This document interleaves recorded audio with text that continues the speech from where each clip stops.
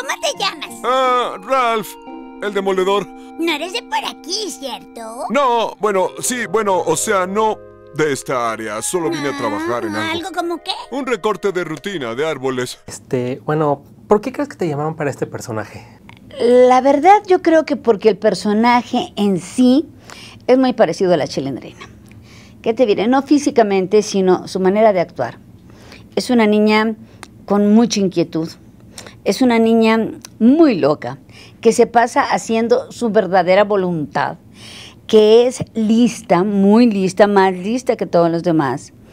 Y que además es muy simpática. Y como yo también, pues dijeron, le queda perfecto. es broma. Este, y bueno, Disney nos ha acostumbrado a las princesas, pues son de su sello, digamos.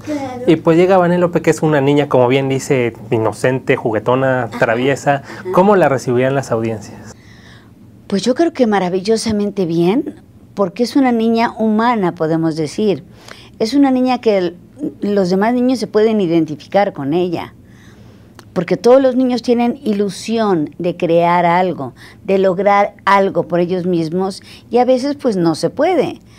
Entonces yo creo que es una niña común y corriente que se van a identificar mucho las niñas y los niños se van a identificar con Ralph el Demolidor. ¿Por qué? Porque los niños son más toscos, porque los niños quieren las cosas a fuerza y se van a dar cuenta que compartiendo con las niñas se pueden hacer mejor las cosas. Y bueno, usted ha tenido experiencia, bueno, desde la chilindrina, como dice, y muchos años atrás con doblaje también. ¿Qué se siente, pues, estar en, un, en una película, pues, como, como Ralph el Demoledor para las nuevas generaciones? Mira, para mí es algo maravilloso. Yo muchos años estuve en doblaje, de los 8 años a los 23. Yo pensé que esa iba, esa iba a ser mi carrera para siempre. Yo nunca pensé que iba a ser actriz de televisión. Y Dios me llevó por otro lado, por otro camino, pero yo soñaba con el doblaje todos los días de mi vida durante más de 20 años. Y cuando soñaba pesadillas, soñaba que yo iba al doblaje y que ya no podía. Y que todos mis compañeros se burlaban de mí porque decían, ay, esa era la que era muy buena y que trabajaba mucho. Entonces, yo me quedé con esa inquietud. Yo no sabía si podía volver a hacer doblaje, si iba a tener la capacidad mental, la rapidez mental, se necesita mucha rapidez mental, la memoria suficiente para esto. Y además un trabajo tan difícil, tan bien hecho y tan profesional.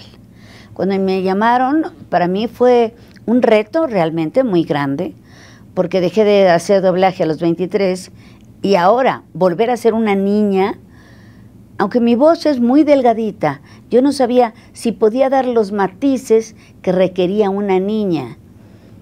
Y al darme cuenta que el director cada vez que yo lo hacía se reía, pues dije, ya la hice, ya le gustó. Entonces, él me ayudó muchísimo, me decía las inflexiones de voz que tenía que dar, me daba instrucciones, extraordinario director. Entonces, me sentí realmente como pez en el agua haciéndolo. Lo disfruté muchísimo. Fueron dos días mágicos los que tuve. Y de aquí para acá, bueno, me he sentido la mujer más lograda porque he llegado a un ciclo, he logrado terminar un ciclo maravilloso para mí que fue el doblaje. Entonces sí fue algo muy, muy lindo. Oye, ¿eres un vagabundo? No, no soy un vagabundo y estoy ocupado. Así que ya, ya vete a casa. ¿Qué dices? No te oigo. Te apesta tanto la boca que me dejas sorda. Y bueno, para este papel, ¿cómo se preparó tomando en cuenta lo que dice que fue un reto? No, pues no me preparé porque no tuve tiempo. A mí me avisaron que yo lo iba a hacer. eh, les dije que no tenía tiempo, estaba yo trabajando en Miami. Ellos dijeron, no importa, nos trasladamos a Miami, se fueron hasta Miami a doblarla.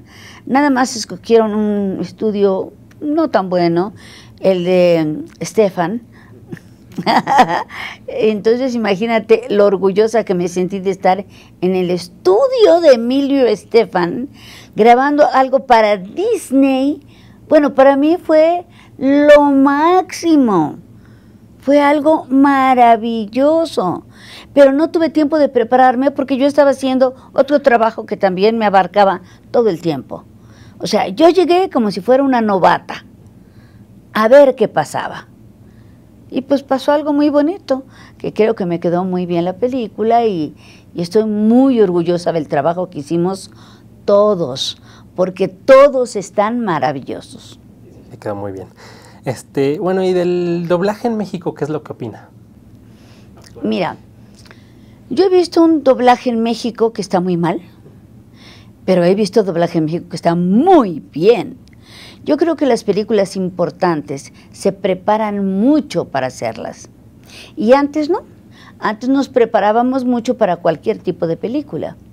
Antes los que hacíamos doblaje éramos actores profesionales, actores de, mucho nombre, de mucha técnica, muy muy serios y los directores, bueno, don Narciso Busquets, don Claudio Brook, eh, el señor Víctor Guajardo, el licenciado Ortigosa, el señor Rosano, eran gente muy importante y muy bueno.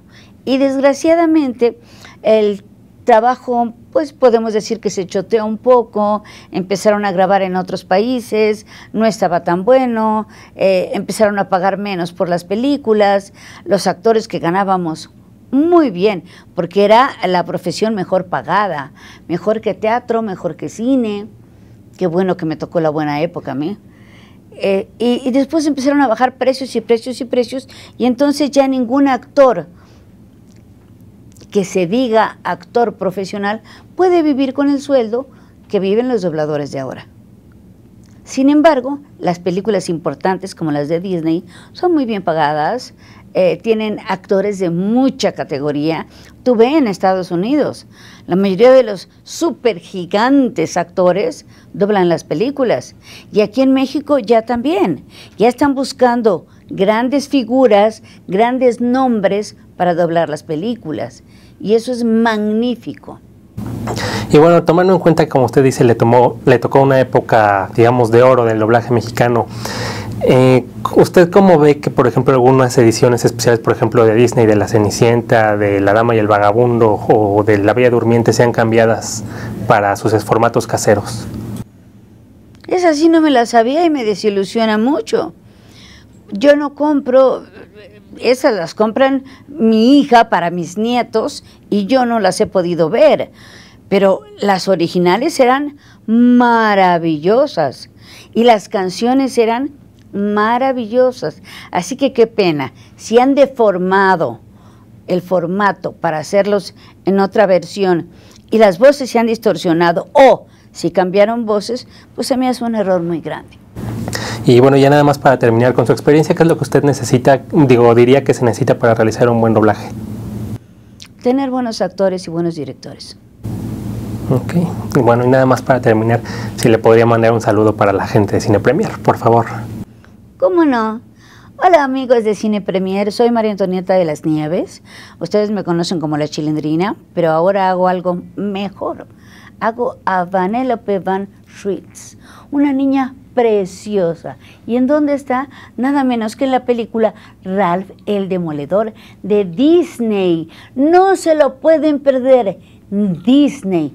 Todo lo que nos da a la familia es lo mejor. Disney. Ralph el Demoledor. Y esta belleza que está atrás, esa es, tiene mi voz. Dulce abuela de todas las calles, una moneda de oro. Ni siquiera lo pienses, es mía. Una carrerita ¡Hey, para hey, allá. hey! ¡Ninguna carrerita porque es mía! ¡Dame raya! ¡Ven para acá! ¡Te gané! ¡Dame eso! ¡Dame! ¡Dame! ¡Ah! ¡Ah! ¡No! ¡Doble raya! ¡Ah!